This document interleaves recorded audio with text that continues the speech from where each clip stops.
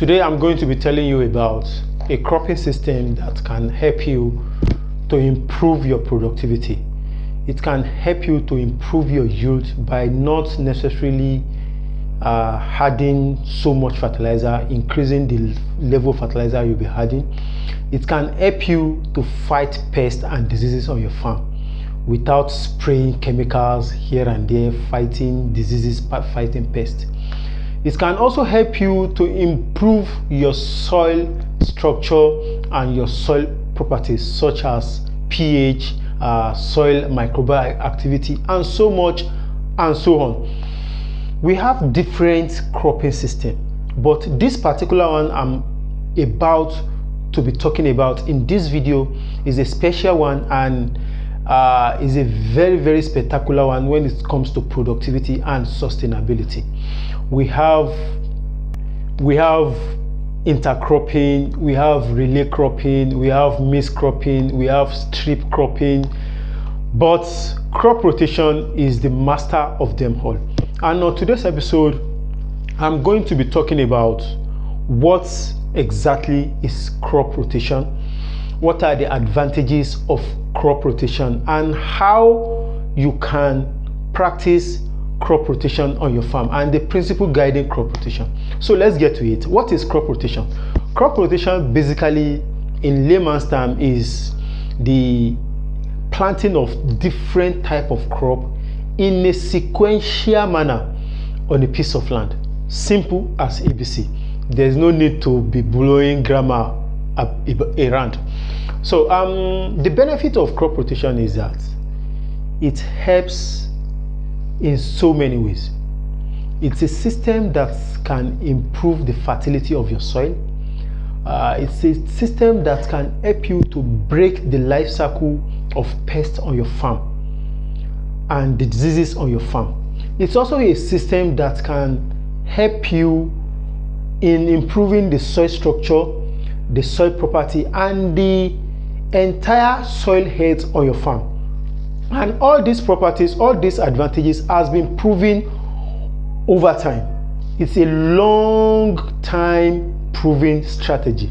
So, uh, in essence, let me just give a brief illustration on how you can practice uh, crop rotation on your farm.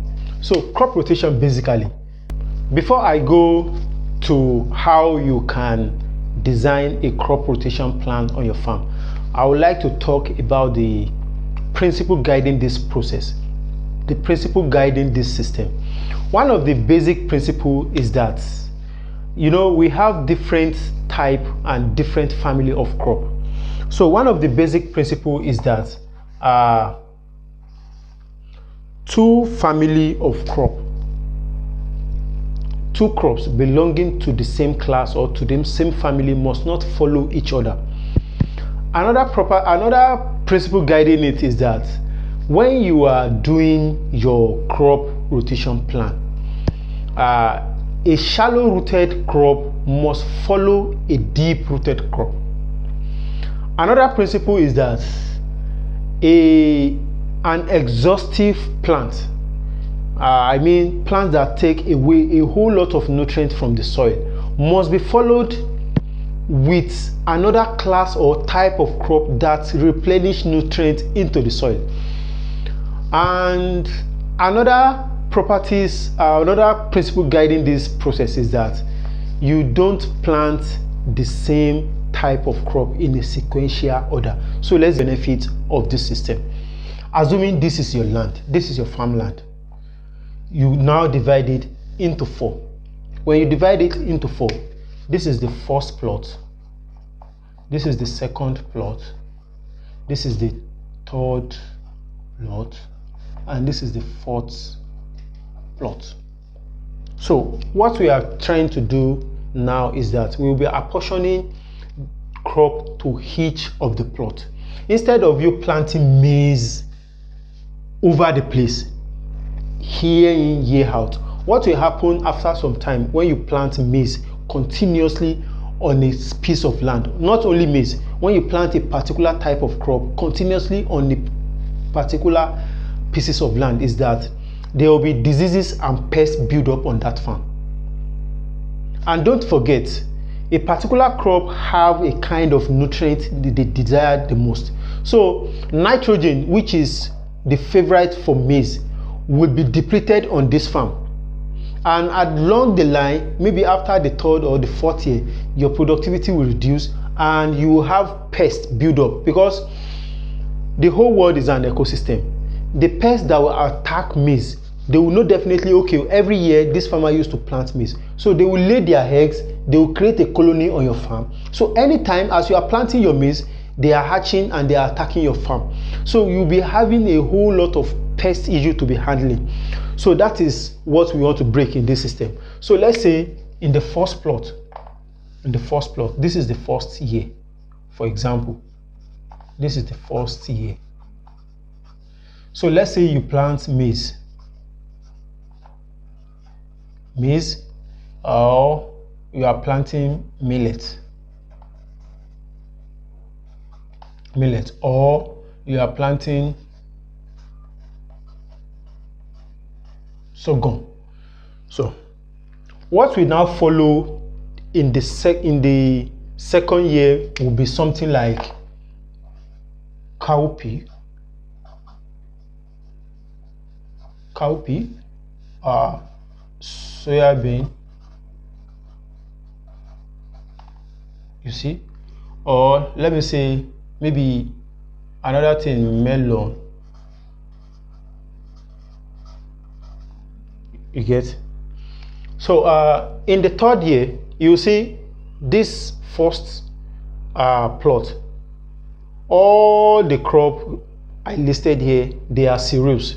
All the crops I listed here are leguminous crops. So let's say in the third year you plant, uh, in the third plot you plant um, yam.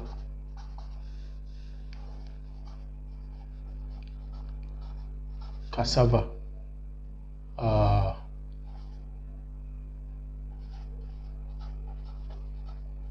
cocoyam, or let me say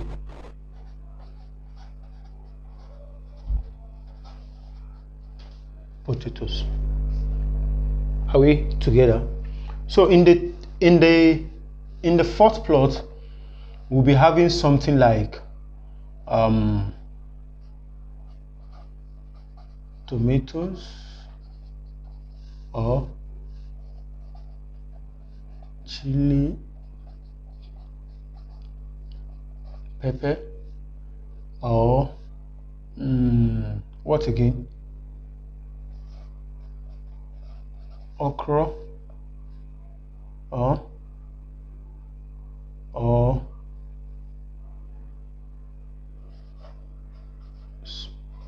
spinach or or cucumber so you can see the pests and diseases that will attack maize or millet or sorghum they are in the same family. They share the same pests and diseases. And most likely they have the same nutrient requirement. So the pests that will attack this one will not be the pests that will attack this. The pests that will attack this will not be the pests that will attack these classes of crop the pests that will attack this one will not be the same but in the same family they share the same pest and they share the same nutrient requirement so this is the first year. So the second year will be something like something like this. Then the third year will be something like this.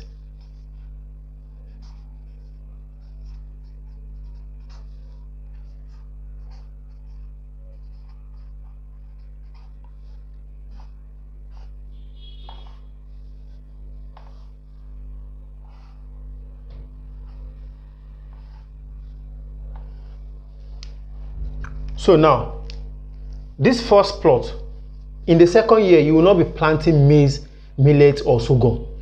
So what you'll be planting will now be cowpea. Cowpea or soya bean.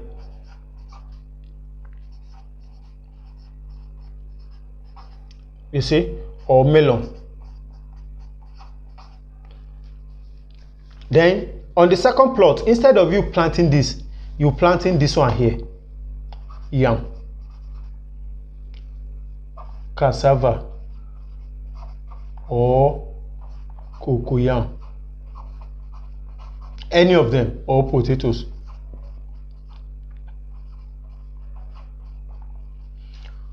So now we have this tomatoes.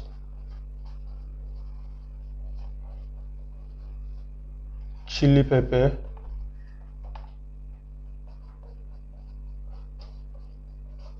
uh, spinach. Then on the fourth plot you having this. Maize uh, millet. Sorghum so in the third year what you'll be having will look like this. You'll be having yam here or cassava. Or potatoes. Then on the second plot in the third year you'll be having um, tomatoes or spinach or chili or okra then you'll be having maize maize or millet or sorghum. Uh, or now in the you now bring this one here cowpea cowpea or soya bean or melon so another principle of cropping crop rotation is that in the sequence or in the circle you must have a leguminous plant a leguminous crop. The uh, ideology behind this is that leguminous crop are fixed nitrogen fixing plant. They tend to improve the nutrients of the soil or the fertility of the soil. They also help in uh, preventing the soil from erosion. So in this kind of something you have all classes of crop represented. Cassava or planting yam will help in improving your soil structure. They help in improving the aeration of your soil whereby uh, maize uh, whereby cowpea or soybean they help in fixing uh, nitrogen into your soil. While this all this one maize millet or sorghum they also help in one way or the other. The whole essence of about it is that when you have different type of crop and you are rotating them in a sequential manner you will not be having pest infestation on your farm. Because on the first plot instead of you planting the same thing the second year you've already brought another set of crop on the farm and they don't share the symptom. Even if those pests have already laid egg on your farm they will not be surviving because you already introduced another type of crop to it. So this is the beauty and the benefits of crop rotation. With this i've come to the end of today's topic and i hope you got value one way or the other. If you actually got value from this video kindly give it a like share with your friends and give it a like. See you on my next video. Thank you so much